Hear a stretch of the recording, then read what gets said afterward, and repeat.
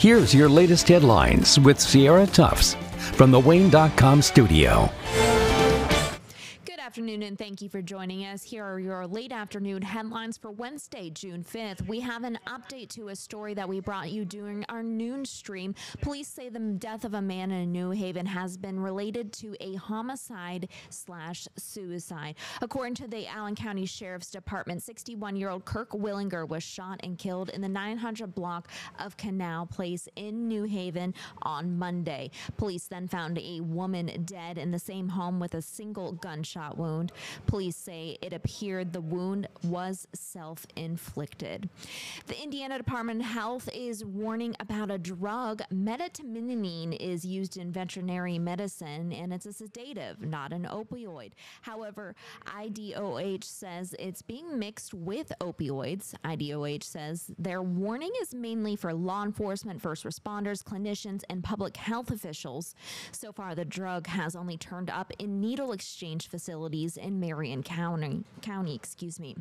A silver alert has been declared for a missing 13-year-old girl from Columbia City. Police are looking for Daisy Rogers. She's described as being five foot one, 110 pounds, and blonde, with blonde hair and green eyes.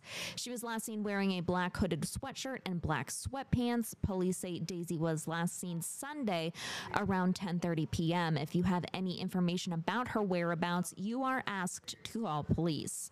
WANE 15 is proud to honor the 80th anniversary of D Day with an hour long special tonight. D Day, the greatest victory, will take viewers to the beaches of Normandy, telling stories of bravery, resilience, and the legacy of almost 160,000 Allied troops who stormed the beaches that day. Watch our special report at 8 tonight on WANE 15.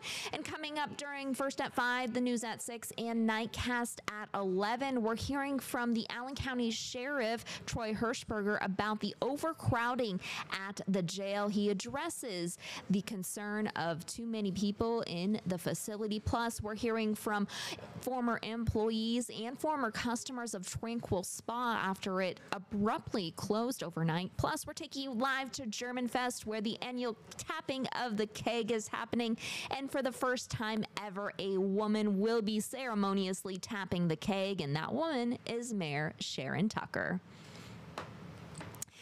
And let's take a look at those weather headlines momentarily. There we go. Scattered showers continue into the later parts of the evening. We are remaining windy and there is more wind on the way, but we will see less humid conditions as we move across the evening hours as well. Looking at Storm Tracker, you can see a system just hanging around in the area, bringing us those scattered showers. We had that long, strong line of storms that moved through the area around 1230 this afternoon. Those have moved out of the area, so it's very scattered at this point.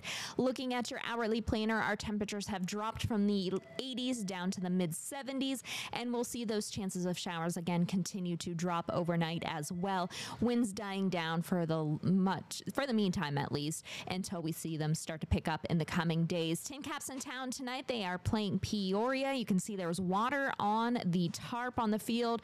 They should be able to sneak in the game there. No widespread rain downpours happening later on tonight, but just those scattered showers. So if you're heading out, make sure you grab that umbrella or rain jacket just in case. And you might want that jacket as it's going to get cooler tonight as well. Looking at that exclusive 10 day forecast tomorrow, we reach the upper 70s with mostly sunny skies. Then we drop down to the lower 70s for Friday. Weekend looks like we are in the mid 70s with a little bit of sunshine here and there. And just one more day in the 70s when we start our work week before we return back into the 80s on Tuesday and the rest of next week. We'll see you back here tomorrow morning at 8:30, but we'll see you at first at 5, news at 6 and nightcast at 11. In the meantime, have a great evening.